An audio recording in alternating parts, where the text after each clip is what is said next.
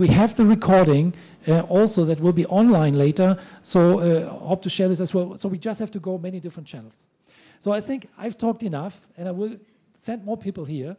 And uh, yeah, I will hand over now to uh, Misako Ito, who will introduce the panelists. Misako works a very long time with us here with UNESCO from Bangkok, and will hand over to you. So thank you very much, and a big round of applause for Misako and all the panelists. Thank, thank you. Thank you, Mario, for hosting this uh, panel on uh, indigenous languages, which is quite an original topic uh, for FOSSASIA.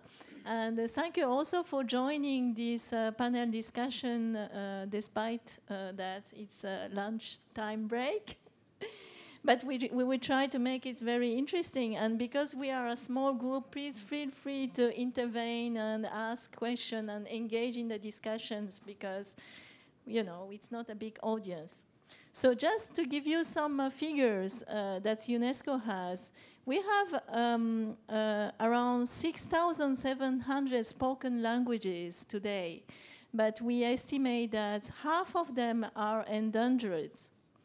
And we have an estimate that every two weeks, one language disappears. And when one language disappears, it goes with the culture, identity, uh, or the perception of the world that is related to those languages, which disappear from the world and from the cultural diversity of the world. So this is a real uh, concern from UNESCO, which is uh, an intergovernmental organizations. Uh, we are championing in the area of cultural diversity and try to protect the, the world cultural diversity worldwide. And we also estimate that 90% of the world languages spoken today could not continue to exist until the end of 21st century. And most of them, the majority of those languages are indigenous languages. So uh, the panel discussion here, and we have uh, eminent speaker from both indigenous community, but also technology, free and open source software, but also language expert. So the panel discussion here is to discuss how technology, and especially the free and open source software, can help to preserve those languages and also to revitalize uh, some of them. So uh, maybe I can just go through the speakers and you can introduce yourself by your name, your background very quickly. Thank you. Yes, good afternoon, everybody. My name is Samin Ngai, and I'm uh, from Punong Indigenous, and I'm working for Cambodia Indigenous Youth Association, and I'm from Cambodia. Good afternoon. My name is Oranee Jariyapotngam. I come from Thailand, and I work as a project coordinator at Foundation for Applied Linguistics. We provide an education program for the children in a remote area which is called mother tongue based multilingual education. Kulumka, good afternoon. Uh, this is Mathura Bikash Tripura from Bangladesh. Uh, my language is Kokborok. Uh, I, my uh, ethnicity is Tripura. Uh, we, uh, we are working on the rights of indigenous people's languages since 2006. My organization's name is Jabarang Kolan Committee. It is led by the indigenous peoples. Thank you. Good afternoon, everybody. My name is Dorn Bouttasing. I'm from Laos. I'm working with um, Khmer Indigenous uh, focus on youth and elder in remote area of Laos. Thank you. Um, hello, I'm uh, Davide. I work for UNESCO and uh, I'm a background as a computer science uh, person and uh, I was uh, involved uh, several times in, in projects involving the creation of uh, technology for rendering uh, complex scripting languages. Okay, thank you, David. And uh, so maybe I can start one uh, with one questions about the challenges that you know indigenous people are facing in this region and in the country. Um, who who wants to pick pick up the questions first? Yes, Dorn. Yeah, please um, the challenge um, from my point of view in the Mekong, really in the Mekong region, uh, the relocation of the indigenous from their homeland to different uh, area. Um, and because the development project often take place in the area of where the indigenous people live. And for the indigenous in Laos, for example, uh, when the project come to the area, then they have to uh, relocate. Some is relocated by themselves, but some are forced relocated. So that is uh, one challenge. And that uh, affected to um, culture, language, and art lost in the community. And also um, about climate change. So here the climate change is also about uh, food security and also uh, society change. This is uh, happen a lot in Laos. So in my, uh, for the language lost, I want to uh, share with you about example when I was a child. So when I speak my own language in a majority uh, society, and we feel uh, shy. I feel shy because the majority, they will laugh when I speak my own language, and then they make fun of us.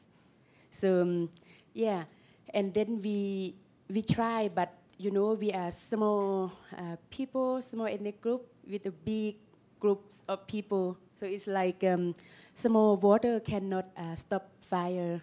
So we feel often like when we go to a market, like two people go together, and then when we talk our own language, talk in our own language, uh, people will just point at us like, ah, look at her, like make fun of us, and we feel like we are a crowd in in uh, a big society because um, my parent, my grandparents also um, have been relocated for three times because of organization, because of the development project.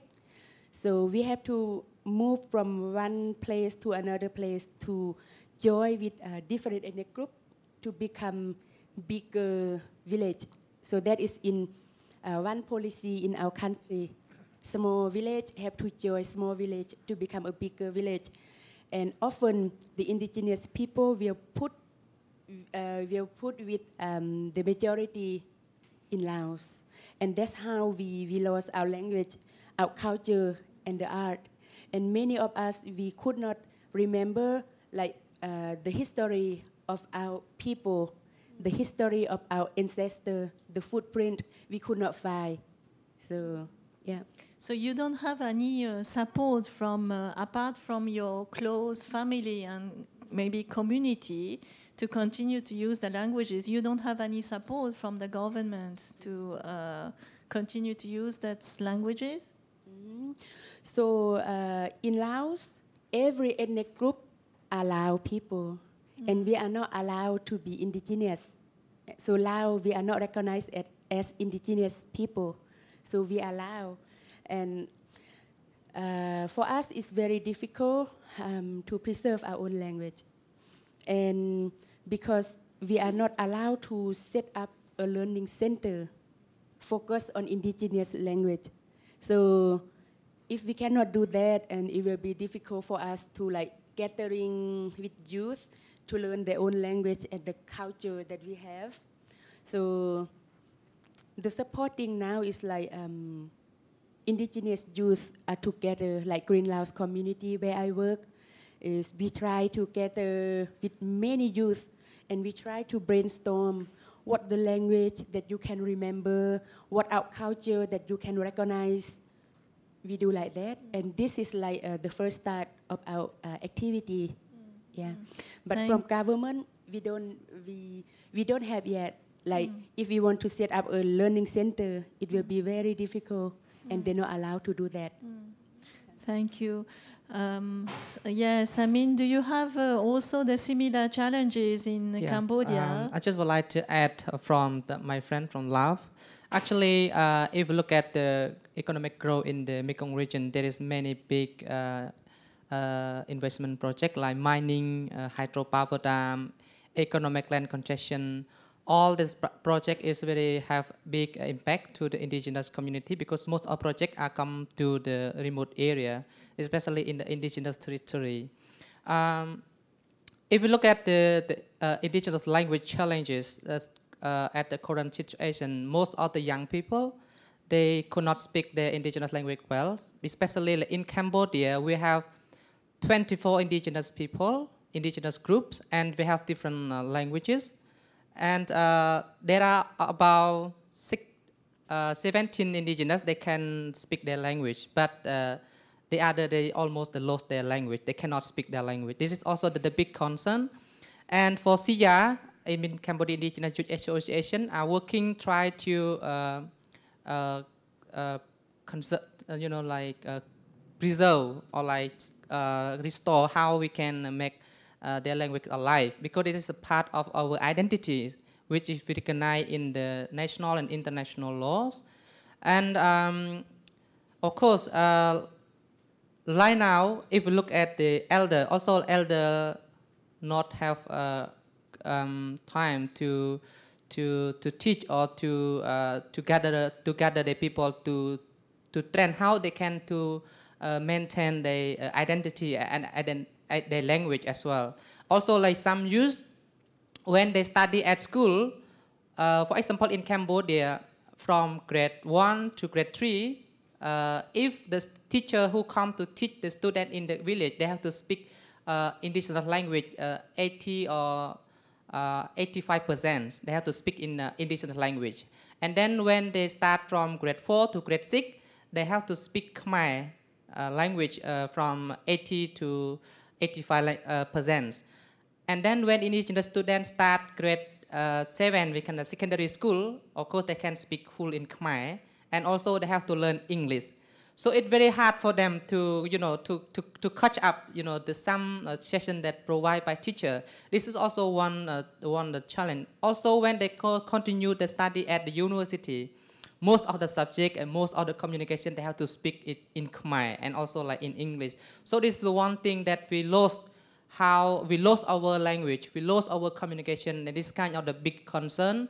I think it's, this time it's good that UNESCO come up with this event and try to raise that concern. I hope the government and other partners who are working on indigenous um, uh, area, they have to very uh, consent and uh, concentrate and try to, to work together how to preserve and maintain our identity and our language uh, for the uh, sustainable development in the in the country and also in the international. Mm. Yes, just yeah. one idea, I think. Yeah. Yeah. Thank you. Thank you for contributing. Uh, so indigenous languages are threatened, but um, you know, according to your perspective, why you think it's so important to protect those languages? You know, they have a lot of people asking, you know, whether wouldn't it be better to focus on national languages to, you know, as a mean of communication, economic growth for the country, why is it so important to protect the indigenous languages despite the you know delocalizations and a lot of uh, challenges that the indigenous people are facing?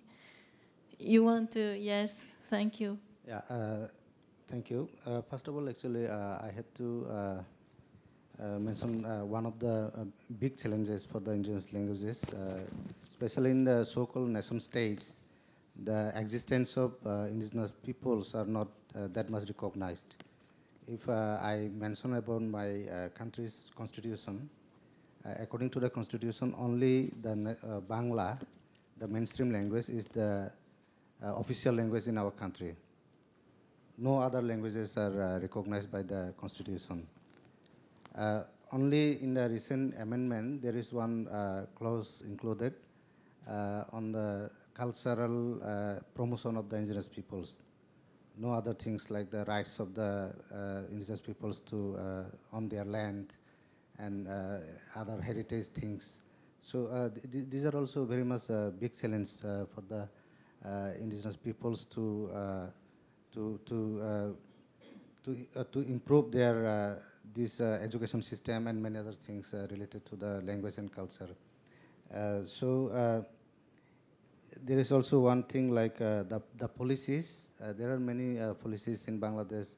In some policies, uh, the, like the uh, national education policy, uh, in that policy, uh, indigenous language is somehow uh, recognized, uh, but in during the implementation, there are some some sort of dilemma and some sort of sort of the bureaucratic system which is somehow blocking the uh, uh, smooth implementation of these uh, uh, policies. So these, these are also very much important things.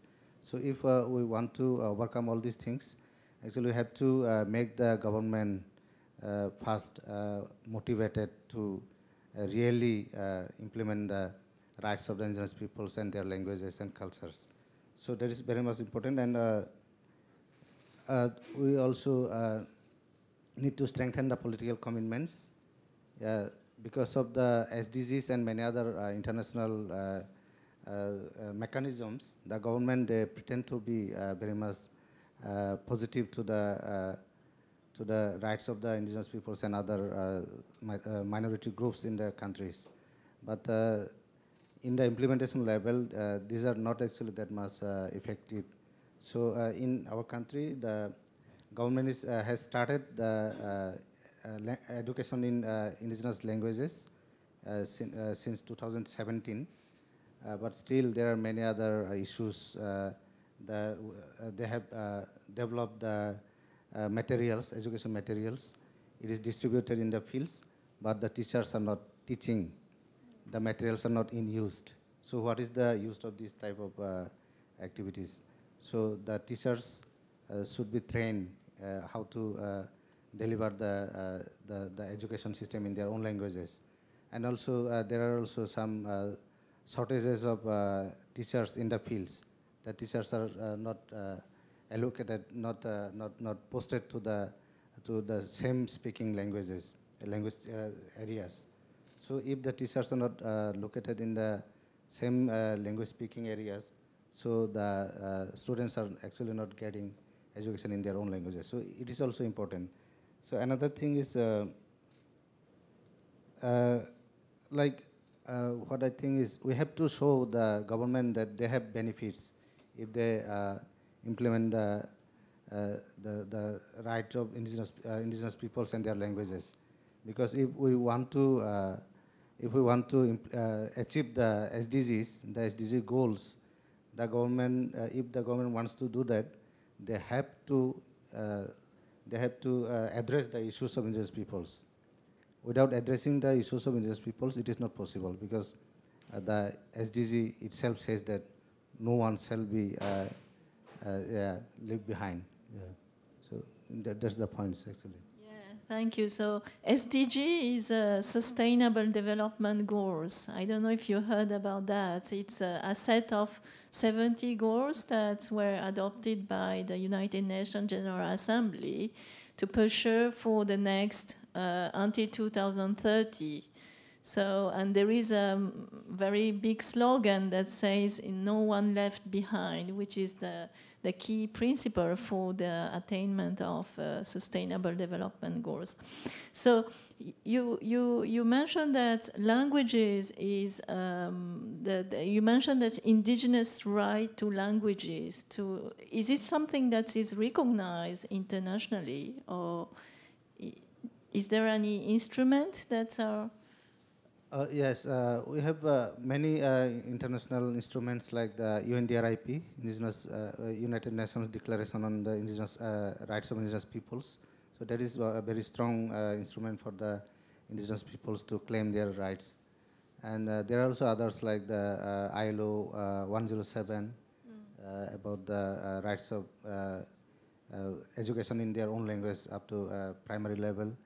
And similarly, the SDG, the uh, Sustainable Development Goals uh, 4 itself, uh, saying that it is like inclusive education. So if we want to make it inclusive, really inclusive, we have to include the indigenous peoples.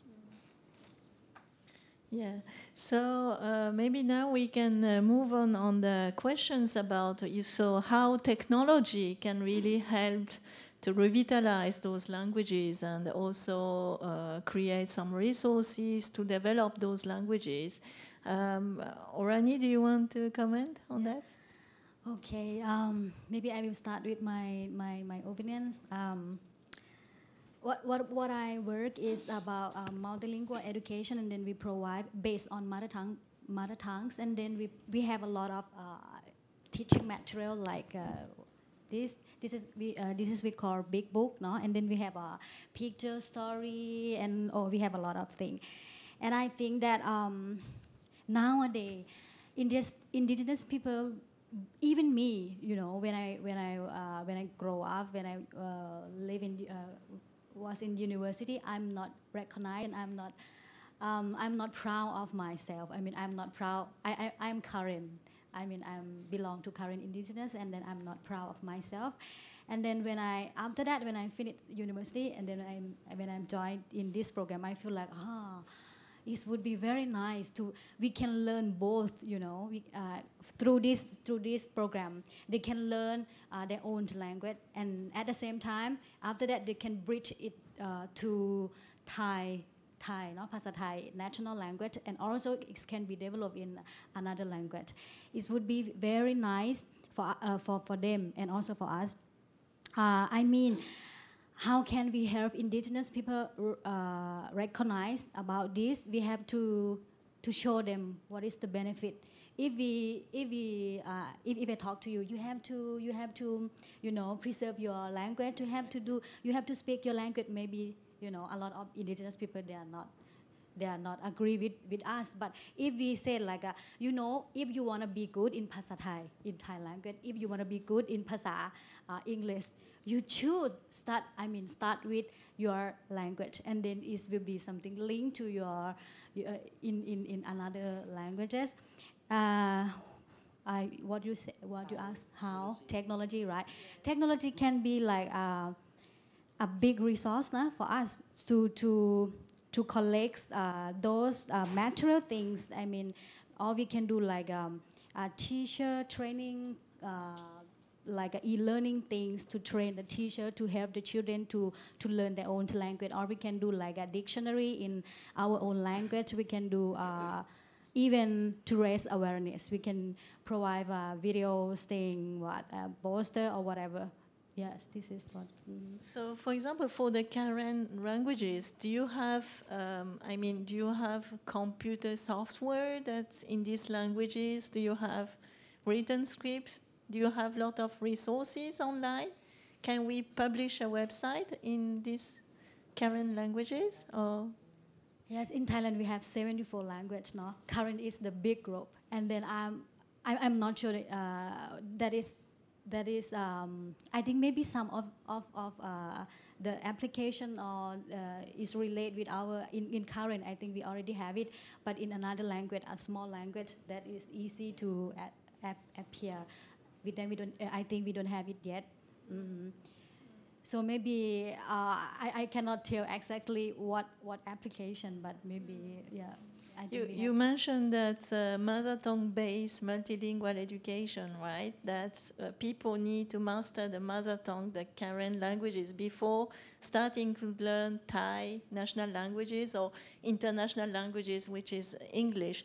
Do you think the lack of resources, the lack of technology in Karen languages is could be a barrier for people to you know, to master fully these languages and to move on other languages or, or the current state is, um, I mean, is, is good enough?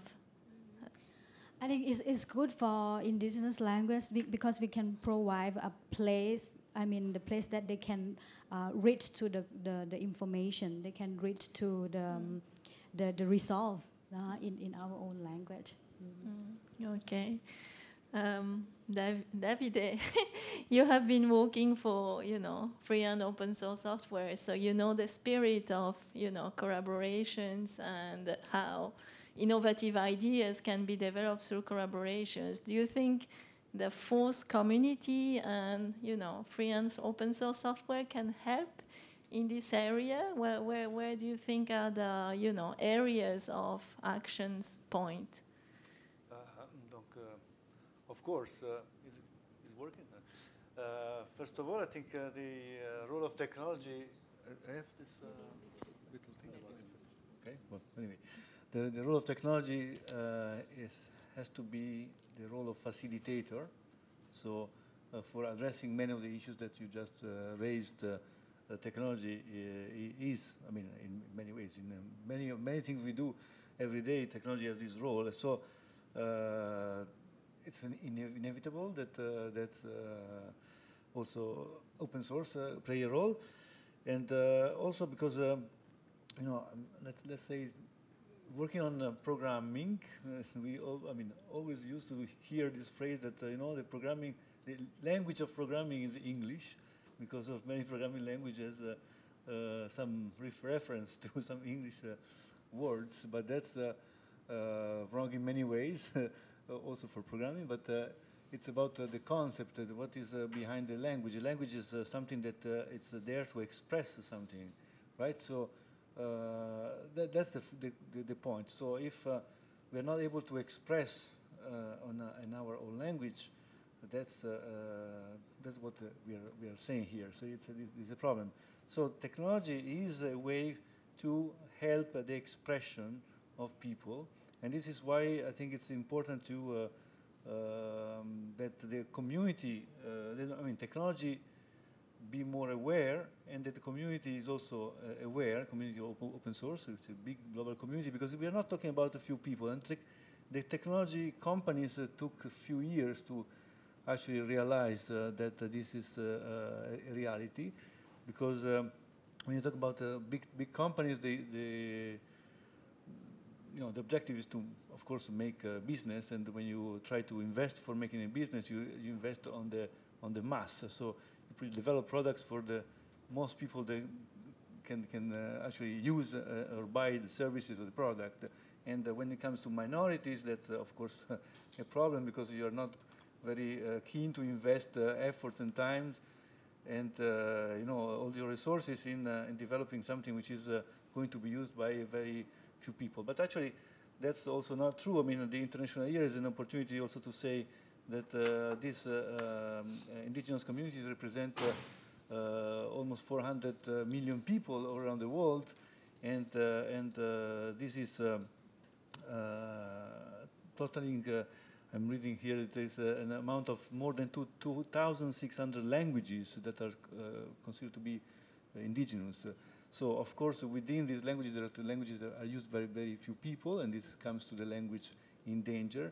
And uh, uh, there's been there's been some process. UNESCO has been, for example, approving some normative instrument that are trying to push the industry also to move towards the support of uh, indigenous languages, uh, like the recommendation on the, uh, languages in cyberspace uh, which was uh, back, back 2003, right? So, uh, and this is one way where, you know, um, there is an attempt to sensitize and to try to move the, the decision makers towards supporting this kind of action.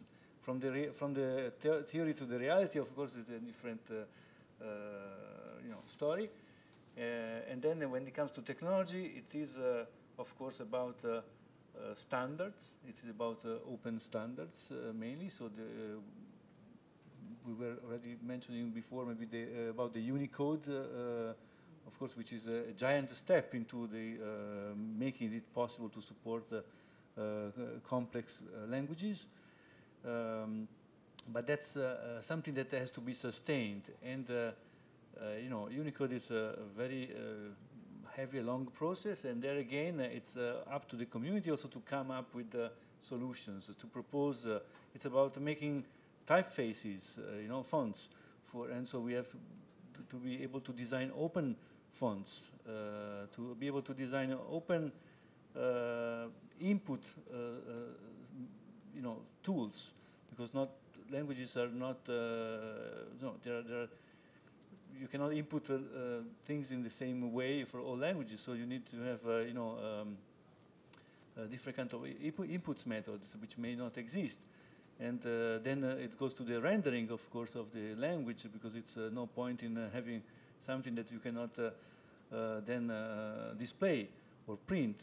And um, you know, these are all little things that actually are making it possible or impossible for uh, people to um, use their own language in uh, education, in, uh, in every, every, everywhere, in, in news, and also to tell the story about the language, because you know, some languages will, will disappear. History is, is full of, uh, you know, uh, things change, of course.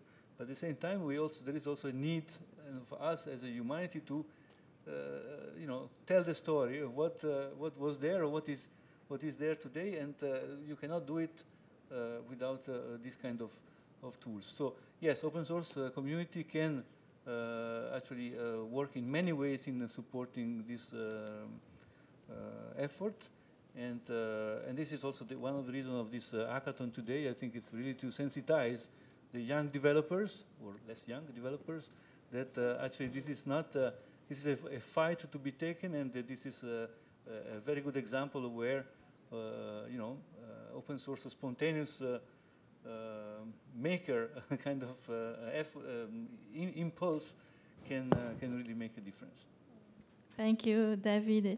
I think, yeah, you really mentioned a very important point that, you know, the International Year of Indigenous Languages is an opportunity to remind us that the indigenous languages are not dead languages. They are the languages that are spoken by uh, almost 400 million populations in the world and, uh, you know, more than 70, 80 countries. So it's very, very important for us to protect. And maybe, um, is there any uh, comments or um, um, from the audience that you want to, uh, or questions that you want to raise? Do you have any ideas of how you know you as an active member of open source community can contribute in this area um, with AI or yes other technologies? Yes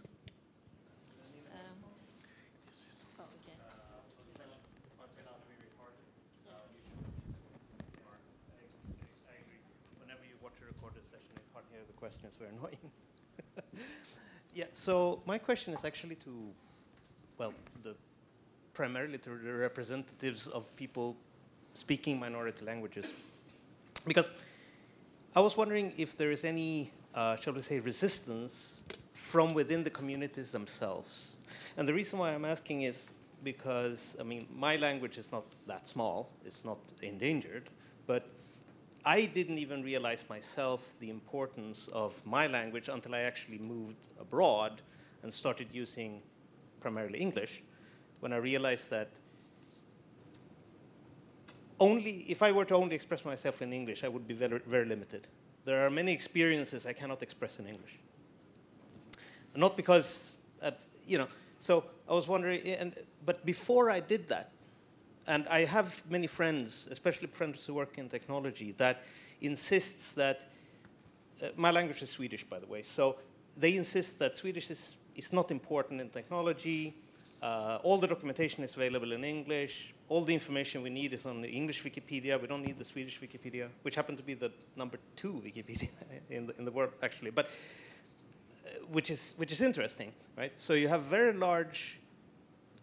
The language is used a lot, and, and, and clearly a lot of people edit Wikipedia in my language. But still, especially within tech, it's completely dismissed by a lot of people. It, most of the technology people I work with wouldn't even hear about using, setting their Linux desktop to Swedish or reading the Swedish version of documentation, et cetera, et cetera. And, and this is within a language that is rather big. So I'm thinking within the small, uh, the indigenous language, within the indigenous languages, there must be, I'm imagining that there's a lot of internal resistance, people saying, okay, fine, it's my language, but there are so few people speaking it, and I need to speak Thai or, or whatever language to make myself understood. Why, why should we keep doing this? Right? I, I can understand why people outside the community would would discard the language, but I'm thinking that it probably happens within the communities themselves. So I'd like to have a comment on that, mm. if possible. Yeah, who wants to? Uh, I want to share about the uh, my Khmu indigenous in Laos. I think uh, very important for us as indigenous to know our own language because we have uh, reached uh, history in the country. That's why we call ourselves indigenous. So uh, for us, because we are living in the community, because we are living in the country that our language still recognized, and at the same time, the language are disappearing because of other ethnic group or the majority. So for us to, to know our own language is very important because when we speak to our parents, we still use our language. And we are shy to speak in different language with our parents, with our uh, families. We feel shame because uh, since we was born, our parents always keep talking and telling story about our footprint, the footprint of our ancestor, and the culture that can uh, color our ethnic group. We feel so proud because our culture, the language, so unique in the country, how to say. And for us, if we don't have the language, if the culture disappear, we feel nothing. Like in Laos, for example, the many ethnic group, especially the majority, majority they call ourselves um, we are Khmu, but they don't call us Khmu. They call us Lao Kang. Lao Kang, it means you look down on us. Lao Kang, it means you are in the middle. You have no place to stay. You don't have your own culture. You don't know your own language. This is how we feel when they call us Lao Kang. And also, um, many people will call us Ka. Ka is like slave. But in the history where we, where we hear from our parents, uh, our history are so big, you know, our culture are so rich, and we can feel that, we can touch that, and we can listen that from our, uh, from our parents. So that is so beautiful, but when we hear it from uh, different ethnic group, it's so uh, different why they describe us that way. We also don't understand. And also, if you want to do like research on history of indigenous people, you have to submit a letter, like a permission to do the research. And before you can publish your uh, research, you need to ask permission from the government. So uh, before you submit, I mean, when you submit the research, uh, the government will first scan all the information and they will allow you to publish uh, which part of it. So here, um, the culture and the history of our uh, indigenous is still hidden, and there are so, so many things that we should uh, bring out.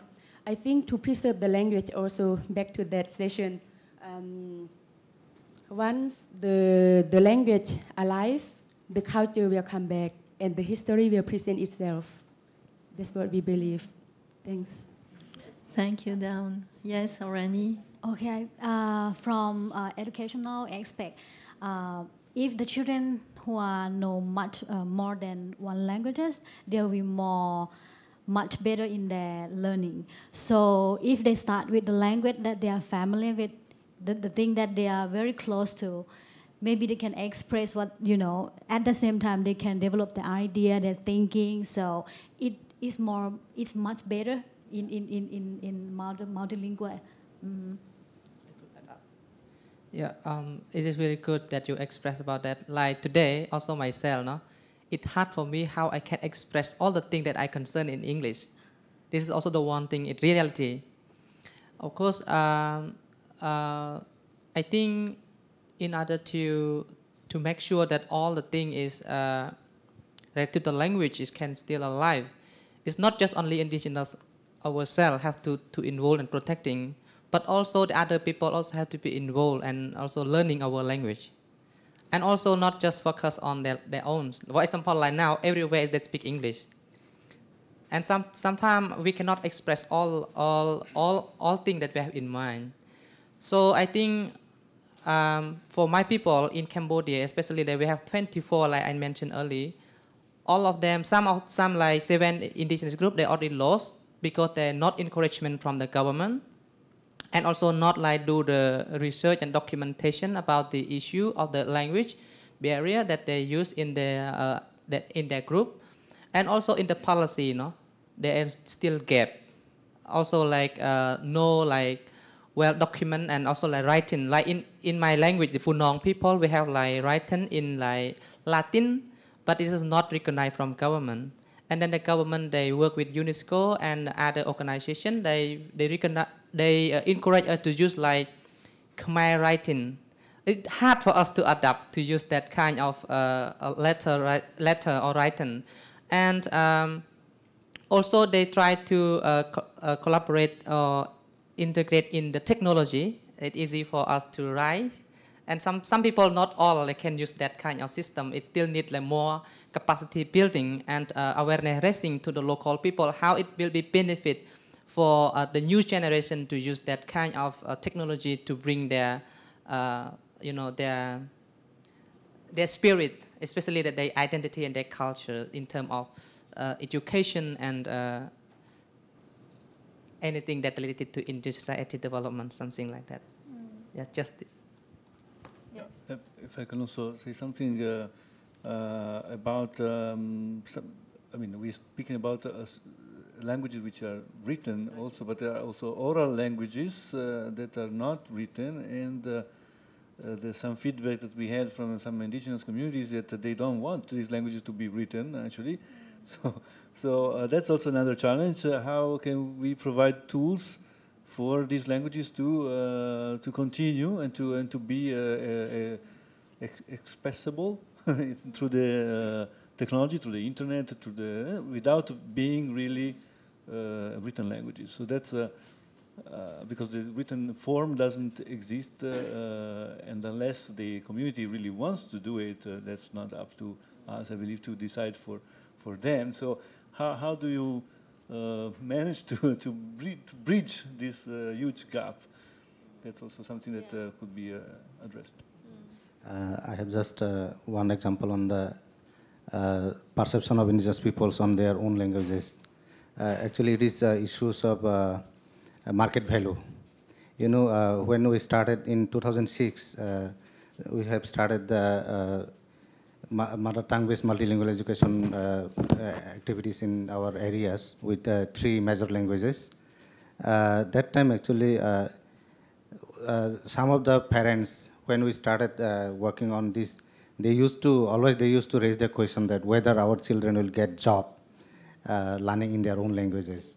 So that is very much important. So uh, now actually uh, they're uh, realizing and also uh, we are uh, trying to um, make government understand about the uh, issue and recently the government is thinking to to to put sort of precondition for the teachers to be a teacher Uh, they must have uh, uh, knowledge on their own languages uh, they, they, they, must uh, they must be uh, able to read and write in their, in their own languages. So after that, actually now what we are seeing uh, uh, just uh, last one, two years, our indigenous youths, they're starting to learn their own languages. before they didn't know how to write and read their languages. So now they're starting, and even some youths, they are arranging the training how to read and write in their own languages, uh, putting their own, uh, uh, own money from own pockets. So this is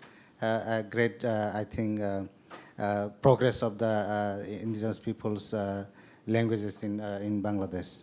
Yeah.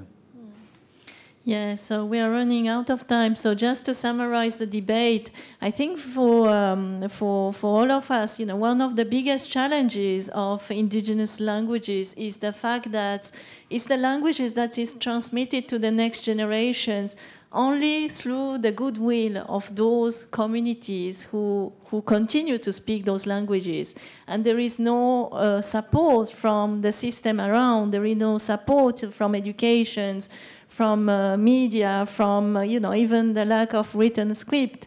So this is the, I guess, the biggest challenges. And uh, so we have a, a hackathon that will start uh, we now in uh, one hour. But before moving to that, uh, would you be possible to, to say a final word about, you know, what would be your expectation out of this hackathon and this collaboration with uh, the FOSS community on this topic?